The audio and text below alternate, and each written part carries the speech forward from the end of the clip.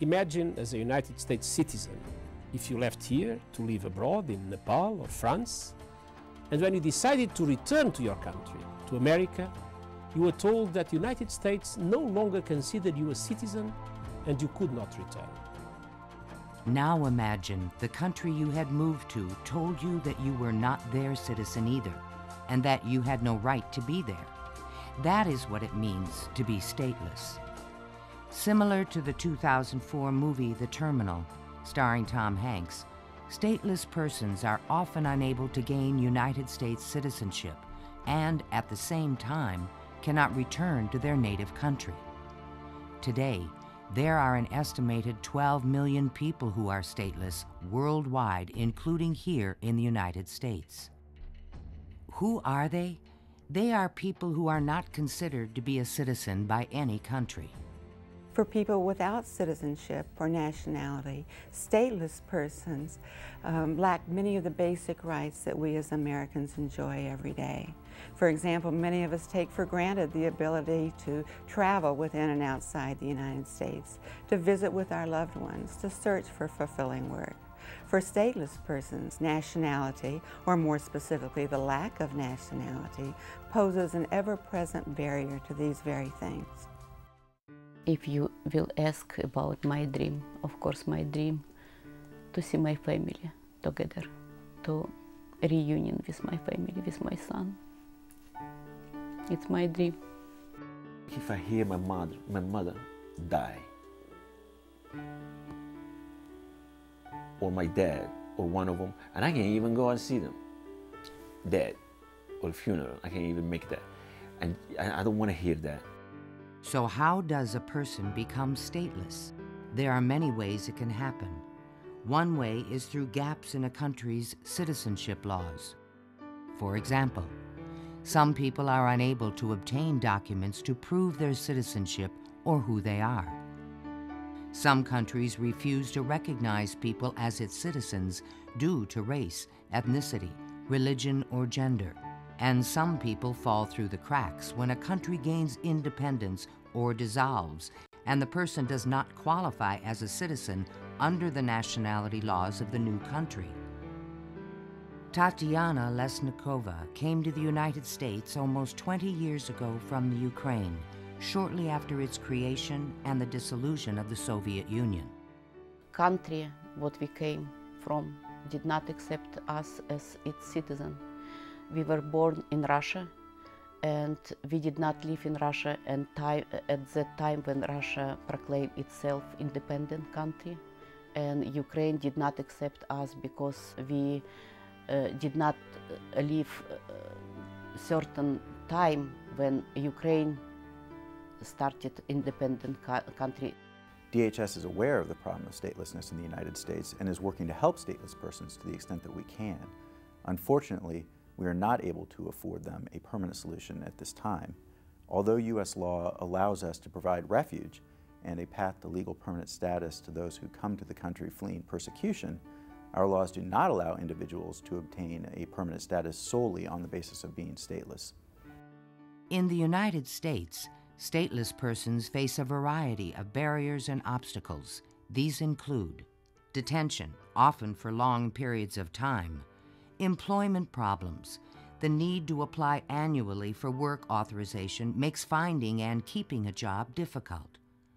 Reporting requirements, which can last a lifetime. And travel restrictions, which can keep them from leaving the United States or even the particular state in which they live.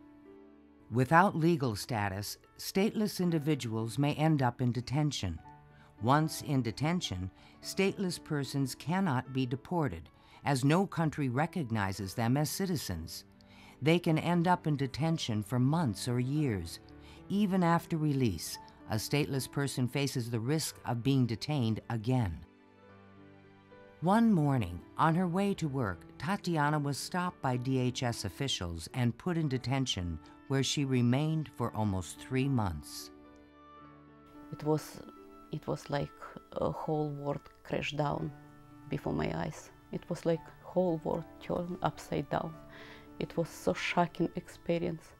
And also I did not uh, struggle or protest I was in roughly manner, was handcuffed and shackled, and they put me in van, and then they went to apartment, to my apartment, and they pick up my son from his bed with clothes what he was sleeping in, and also shackled and handcuffed. I tried to, I tried to just encourage him that it's something, maybe mistake, maybe um, we are not criminal, we are not killer, we, we didn't do anything wrong, they will let us go, don't worry, don't worry.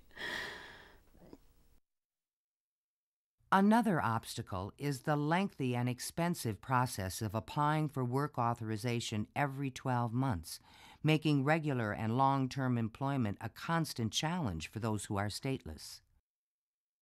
Mohammed Arafi has been stateless in the United States for 25 years. He managed to put himself through college and he speaks five languages, but many job opportunities elude him due to his stateless status. I've been I've been hired by this line, Lionbridge, because I have I'm a, I'm a five language spoken. I was I was qualified, passed the test and everything, but I cannot get to that job is for my status, which I'm stateless, and that is a big barrier for me to get anywhere I want to go. So they they settled for me. They told me um, we, you just is not you, you are not in, in uh, your your your qualification is good, but your status is not enough. So now I am I'm a victim of this stateless. So I cannot even get to the judge what I want to do, was something I'm good at. All what I want is from from this for my case all what i want is to be uh, have a green light to get to any job i ask for something i am i'm qualified for i want to go and get and so i can provide for my family Stateless persons must also regularly report to immigration officials. The requirement can vary from every month to every six months. But because a stateless person cannot be deported, they face these reporting requirements for the rest of their lives. And in one of our uh, check-in in person, I asked the officer if I do I have uh, come here to rest of my life, and he told yes. And it was uh, sound so unbelievable. It just like evil joke. Unable to obtain a passport or other travel documents, stateless persons cannot leave the United States, cutting them off from family members living in other parts of the world.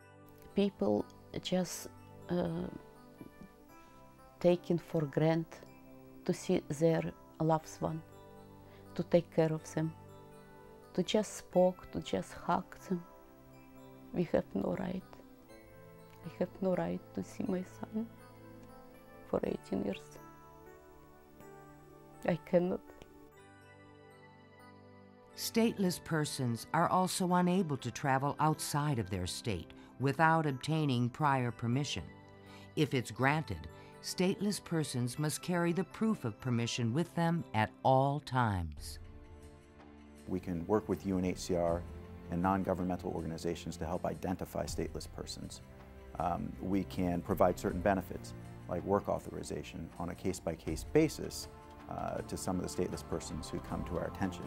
However, without a change to our laws, there is no mechanism for DHS to provide individuals like Tatiana and Mohammed with a nationality and the permanent security and peace of mind that brings. To, to be stateless is just uh, to me to me in personally they take a human out of me and and and put it and and, and and just put me as like i am i have no value at all Coming to America, I sacrifice. I knew why I, I in I come in just to bring my children in safety play. But I lost everything wherever it was my life before. I lost my career. I lost. I lost my family. It's most painful. I lost my son. The United States is a leader in protecting the rights of the world's most vulnerable people, including the stateless. this country has a proud record of supporting programs around the world to prevent and to reduce statelessness. And the UNHCR is willing to help the US in every way it can to address the issue of stateless individuals living within the borders of the United States. The best solution for stateless individuals is for Congress to pass legislation which would provide them with a permanent solution and nationality. UNHCR is the organization mandated by the United Nations to work with governments to prevent and reduce statelessness around the world.